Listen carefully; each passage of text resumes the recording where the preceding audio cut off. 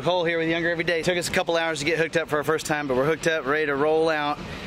You excited? How's doing? We're, we're ready to go, so.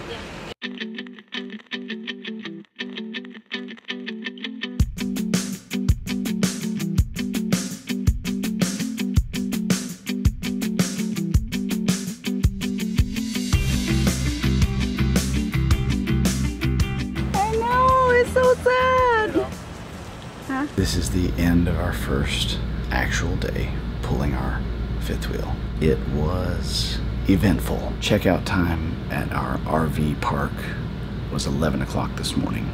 Fortunately, they allowed us to get a little later checkout.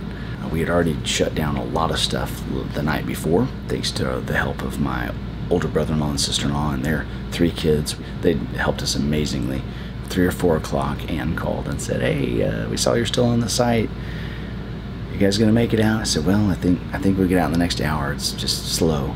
The man and woman moving over showed up. We started to roll out. As I'm going, I'm thinking, "Wow, the trailer brakes don't seem to be doing anything." Using the trailer brake controller in the truck, I'm stepping on the brakes, and it doesn't really seem anything. In fact, if anything, it, it kind of felt a lot like wag the dog, right? So the trailer's wagging the truck. I make a block, go back, and the guy who's moving into the spot is there. And I just went up and asked him, I said, hey, how do you know the trailer brake's working? I also talked to the Park Coast Cowboy, and so uh, the, the guy who's moving in, by the way, is Isaac and Sarah. So Isaac comes over and says, hey, let's take a look. So we went and looked, and sure enough, the trailer brake wasn't working. Another guy from the park, Josh, came over, and he had a fuse puller and also a fuse tester, so we checked that out. Couldn't find a bad fuse. In fact, I couldn't find a trailer brake fuse. Many thanks to Isaac and Sarah. Many thanks to Bob, Cowboy, Josh, and also to Ann. Shout out to Ann for letting us have that late checkout. Uh, everybody, I really appreciate it. I told Dawn people were just coming out of the woodwork to help us. We decided, hey, let's go on down the road. We've tried everything. I can use the exhaust brake plus the truck brakes. Should be okay. And here we are, only mm, coming up on 3 a.m. Learned some things.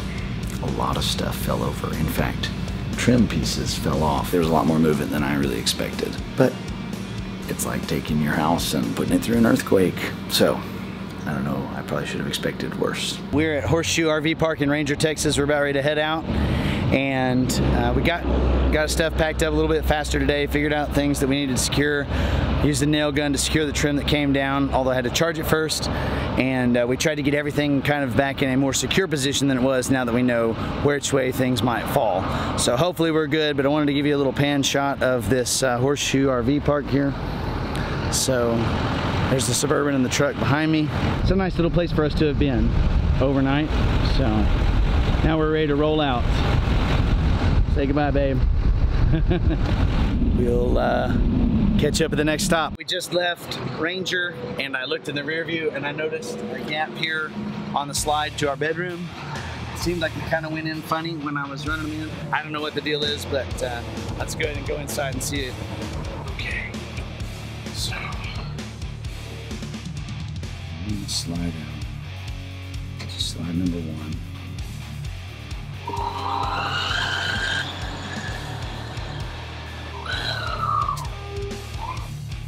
All right, sounded good going out. Let's see if back in straight.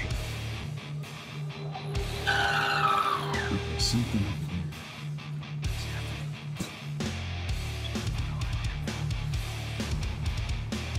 Let's see.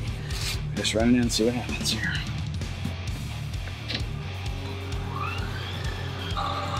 It's like that one's not keeping up or something.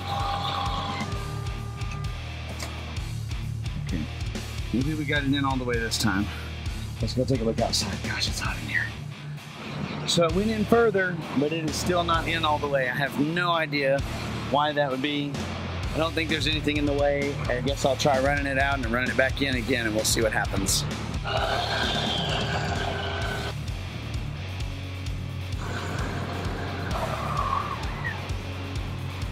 So I ran it out again, and when I started bringing it in, I stood on the, the right hand side of the bed and pushed towards the rear of the trailer a little bit to try to kind of readjust it. I don't know if that fixed it or what, but this time when it ran in, it kept going on this side and got it all the way in. So we're good to go now.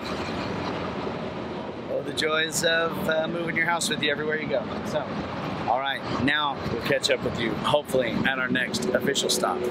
So here's the thing. This is like taking two different road trips.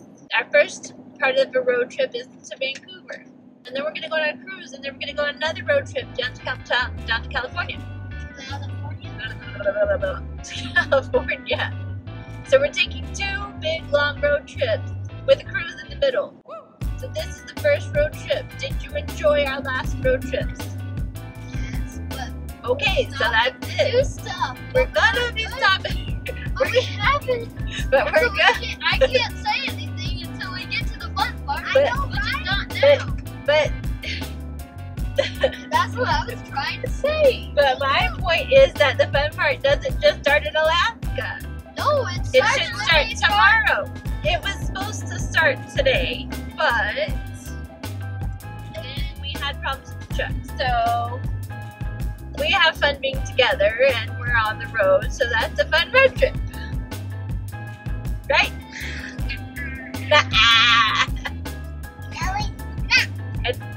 So you're done. You don't want to do this anymore. no, it's fun. It's Well, just that we have to do the fun part. The even more fun, but you Oh, the even more funner part. That was good English there. What do you have to say about our trip so far? The trip is like gonna be amazing. I think you're right. I am so gonna build so fast. What are you excited about for the trip?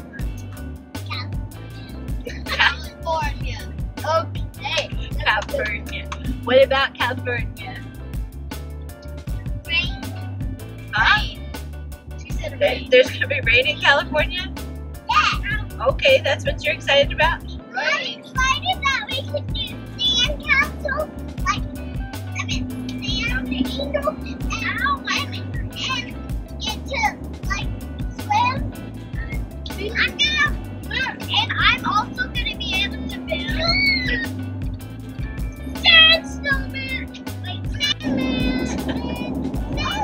sandman. Okay, so Connor, what about you? What are you excited about on the trip and in California? Okay, bad idea. Can I'm going to. Bad idea.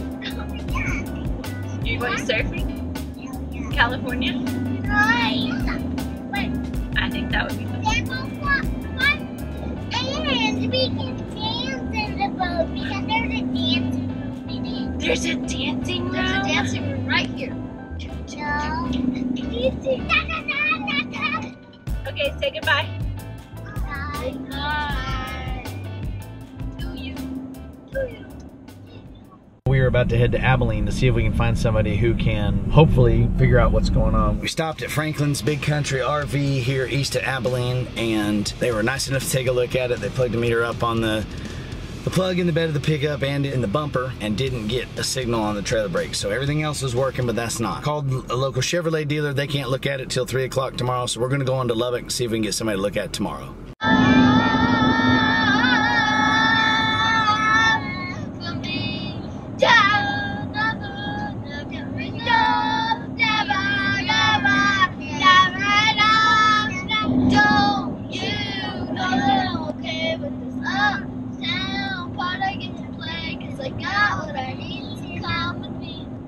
Don't wanna take you right, I wanna see the other side. Cause every night I lie there, the brightest colors fill my head. A million dreams that keep me awake. Cause every night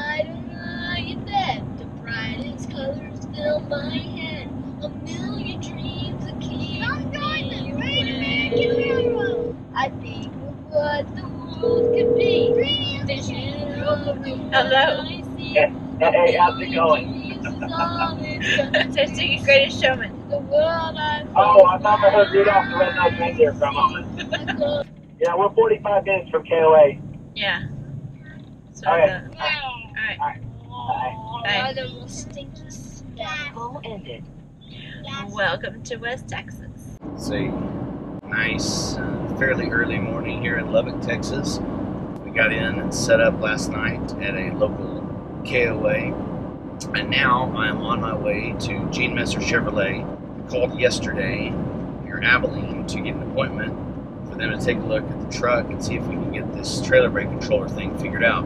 Praying everything works out because we need this trailer brake controller to function right so we can continue on our journey. Well, that was over quickly. I pulled in, super nice looking shop, talked to the service advisor, and he said that they are about 30 days behind. And we have to be in Washington in nine days. So can't do that one. he recommended a couple of other local shops. I guess I'll give one of the local shops a call and hope that they can take a look at it and figure it out for me did a little research and found another local repair shop with good reviews. Called them up and they said that though they are busy, definitely get in and take a look at it, seeing as how we're traveling through and need some help with the trailer brakes. So I'm gonna head over there now. It's about 15 minutes away. I just had the guys over at Shepherd's Auto Care take a look at the truck, tested a bunch of fuses. They plugged in a tester on the harness itself in the back and said everything appeared to be working properly. So they sent me away, no charge. You know, I was there about 45 minutes or so. So now I'm headed back to the trailer to hook up the wiring and see if we get some output uh, with the truck hooked up. I am praying that that'll work because that would be so great if it were that simple so we can get on down the road today. Just pulled out of the KOA here in Lubbock. Nice gentleman offered to hook up his adapter and see if he got anything on it, but he didn't have a fifth wheel so we couldn't actually try moving it and see if the brakes work. But then he helped me hook up my truck and check it again. And he and I both think that still the controller is not sending a signal. So we're headed now to Brandon's Auto on the south side of Lubbock to see if he can take a look at the controller. This is round four, and the guys here at Brandon's Auto Repair and Diesel Service, Brandon checked it out and he said, hey, you're not getting a signal to your connector at the back of your truck, but he plugged in a scanner in the front and said, but your trailer brake is sending the signal. He said, if I could just back in the trailer disconnected and then park the truck where they can get it when they're done, he can get in there and, and start taking that wiring and checking it out and see where there's a problem and try to figure out where the signal is stopping so we can get this thing fixed and get back on the road. I backed the fifth wheel in here. It was about a 120 point turn to get it there, but I got it in there. You can you can back one around if you're patient enough. I understand now why a fifth wheel is so good, because I was able to get a lot of mobility out of that. So Dawn was my spotter in the back, so you can see we put this in here like a glove. We're gonna go get a maybe some lunch and gonna need an oil change in the Suburban. So we're gonna take everybody with us and go do that and then check back in with them in a little bit. All right, so I'm sitting down here by the pickup.